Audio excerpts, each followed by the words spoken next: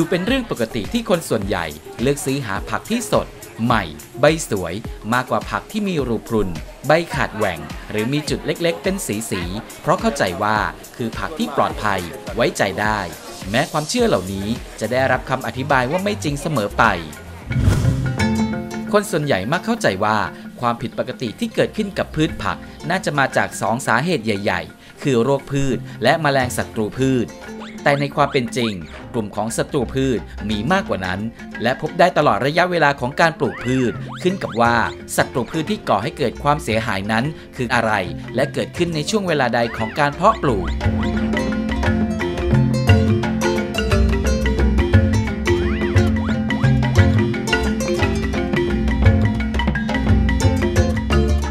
รคพืชและแมลงศัตรูพืช มีความสัมพันธ์กันอย่างใกล้ชิด ดังเช่นโรคพืชกลุ่มไวรัส หรือไมโครพลาสมา ที่มักมีแมลงปากดูด เช่น เพลี้ยไฟ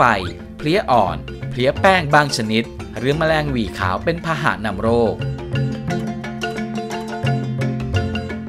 ขณะที่แมลงปากกัดบางชนิด ใช้วิธีเจาะหรือกัดกินบางส่วนของพืช จนทำให้เกิดบาดแผล และเปิดช่องทางให้เชื้อโรคที่มีอยู่แล้วในธรรมชาติ เข้าทำลายตัวพืชได้ง่ายขึ้น ด้วยกลไกในระบบนิเวศที่แต่ละชีวิตต่างพึ่งพาอาศัยและสัมพันธ์กัน การจัดการและควบคุมศัตรูพืช จึงต้องอาศัยทั้งความรู้ และความเข้าใจที่ลึกซึ้งไปพร้อมกัน จริงๆแล้ว หัวใจสำคัญของการการจัดการในเรื่องของ ศัตรูพืช ไม่ว่าจะเป็นในโรงเรือนหรือว่าในระบบเปิดหรือปิดก็แล้วแต่ เราต้องทราบก่อนว่าพืชที่เราปลูกเนี่ยเขามีแมลงศัตรูสำคัญอะไร แล้ว ในแต่ละระยะการเจริญเติบโตเขามีศัตรูสำคัญสำคัญอะไรบ้าง เพราะอาจจะมีอย่างเช่นแมลงบางชนิดเนี่ยเขาชอบกินระยะกล้า พอพืชเจริญเติบโตพ้นระยะกล้าแล้วเขาก็อาจลดปริมาณการเข้าทำลายลง แต่พอพืชเข้าสู่อีกระยะหนึ่งเช่นระยะที่ติดดอกออกผล มันก็อาจจะมีแมลงอีกกลุ่มหนึ่งหรือโรคอีกชนิดหนึ่งเข้าทำลาย หรือก็จะมีพวกที่เข้าทำลายตั้งแต่ระยะ เริ่มปลูกจนกระทั่งเราเก็บเกี่ยวผลผลิตเลย ก็มีนะคะแล้วมันก็ขึ้นอยู่กับชนิดของพืช การป้องกันควบคุมโรคและแมลง ภายใต้เงื่อนไขที่ธรรมชาติ เป็นผู้กำหนดนับว่ายากแล้ว การจัดการโดยไม่พึ่งสารเคมี หรือวัตถุอันตราย ซึ่งจะส่งผลกระทบต่อปัจจัยการผลิตที่สำคัญอย่างดินและน้ำรวมทั้งสิ่งมีชีวิตในระบบนิเวศ ถือเป็นเรื่องท้าทายยิ่งกว่า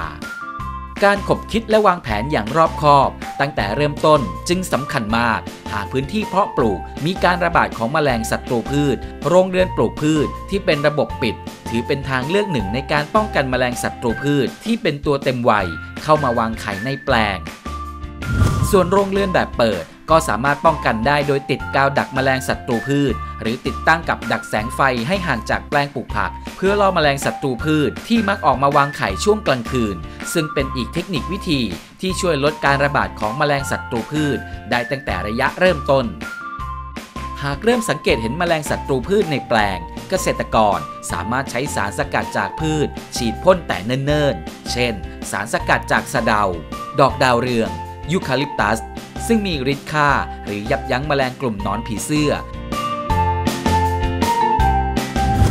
เกษตรกรบางรายเลือกใช้สารชีวพันธุ์ ซึ่งผลิตจากพืช สัตว์ หรือจุลินทรีย์ ที่ผ่านการทดสอบประสิทธิภาพแล้ว อย่างไรก็ดี สารชีวพันธุ์มีความเฉพาะเจาะจงกับศัตรูพืช จึงจำเป็นต้องเลือกให้เหมาะกับชนิดของศัตรูพืช รวมถึงช่วงเวลาการใช้ที่เหมาะสม ถ้าเราใช้ยาฆ่าแมลง หรือเราใช้สารฆ่าแมลงเนี่ยเราสามารถ รอจนกระทั่งแมลงมันมีปริมาณหนึ่งแล้วเราจัดการได้นะคะ แต่ถ้าเกิดเมื่อไหร่เราใช้วิธีทางเลือกโดยเฉพาะกลุ่มที่เป็นชีวพันธุ์ หรือกลุ่มที่เป็นพวกเชื้อโรคเป็นตัวห้ามตัวเบียนพวกนี้เราจำเป็นจะต้องลดปริมาณของศัตรูพืชที่เราพบ นะคะในในแปลงปลูกพืช ให้ต่ำลงกว่าระดับเศรษฐกิจแล้วเริ่มทำการใช้สารเหล่านี้ เพราะว่าตัวของสารชีวพันธุ์เอง หรือว่าพวกเชื้อโรคพวกนี้เขาก็ต้องมีการเจริญเติบโต หรือเพิ่มปริมาณ ซึ่งเขาจะใช้ระยะเวลา อาจจะประมาณ 2-3 วัน เขาถึงจะสามารถทำให้เกิดการตายของแมลงลงได้ แต่ถ้าเกิดเป็นยาฆ่าแมลง มันสามารถใช้ณตอนนี้ออกฤทธิ์ภายในระยะเวลาสั้นๆ เช่น ภายใน 3 ชั่วโมง ภายใน 6 ชั่วโมง เพราะฉะนั้นเวลาเราเราจะเลือกใช้กลุ่มของพวกสารชีวพันธุ์ เราก็อาจจะต้อง ใช้แต่เนิ่นๆ หรือว่าใช้ในขณะที่ยังไม่เกิดการระบาดในปริมาณเยอะ การใช้สารชีวพันธุ์ ประกอบด้วย 2 กลุ่มใหญ่ ๆ คือกลุ่มที่ควบคุมโรคพืช และกลุ่มที่ควบคุมแมลงศัตรูพืชไตรโคเดอร์มา เป็นสารชีวพันธุ์ที่ใช้ควบคุมโรคพืชที่อยู่ตามดิน เช่น โรคเน่าคอดิน เกษตรกรสามารถขยายปริมาณเชื้อเพิ่มได้ในข้าวกึ่งสุกกึ่งดิบ ก่อนนำไปผสมกับปุ๋ยหมัก ปุ๋ยคอก แล้วจึงนำไปใช้ในดิน หรือนำสปอร์มาละลายน้ำแล้วฉีดพ่นหรือรดบริเวณที่ปลูกพืช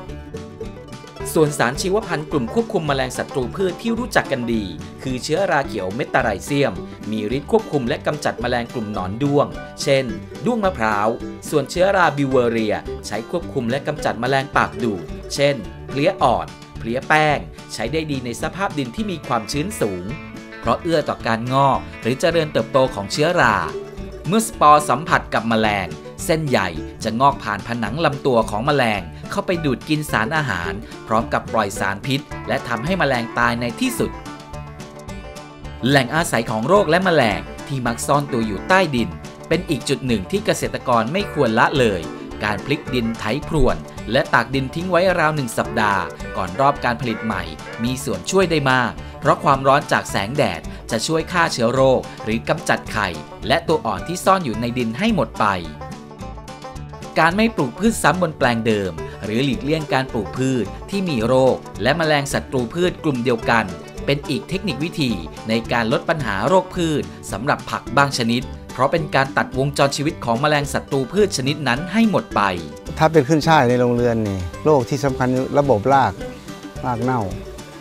สำคัญที่สุดหลีกเลี่ยงการปลูกซ้ำแปลงเดิม เพราะถ้าปลูกซ้ำที่เดิมปัญหาโรคเน่าจากรากขึ้นมา แล้วต้นจะล้มเหี่ยวเฉาตายไป แต่โดยทั่วไปการทำปุ๋ยหมักปลูกผักบนโต๊ะเนี่ยมันก็จะมีเชื้อราอยู่ในโต๊ะแล้ว ปัญหาจึงน้อยน้อยมาก อาจจะเจอเป็นต้นสองต้น ต่อรอบก็ไม่ถือว่าเสียหายมาก เอาออกถอนออกไปทิ้ง ลงดินนี่ปัญหาที่สำคัญที่สุดคือปัญหารากปมไส้เดือนฝอย ทุกวันนี้ก็มีตัวที่ช่วยแก้คือไส้เดือนฝอยสายพันธุ์มิลิกัน และก็เห็ดเรืองแสงคลุกวัสดุปลูกตั้งแต่เริ่มต้น แต่ถ้าอยู่บนโต๊ะถ้าเจอปัญหาก็เอาดินบนโต๊ะออกทิ้งเอาดินชุดใหม่เข้ามา มันก็จบกระบวนการนั้น อีกหนึ่งกลไกควบคุมแมลงศัตรูพืช คือการสร้างสมดุลระหว่างตัวห้ามตัวเบียนที่มีอยู่ในธรรมชาติ แต่ด้วยรูปแบบการเพาะปลูก และระบบนิเวศที่เปลี่ยนไป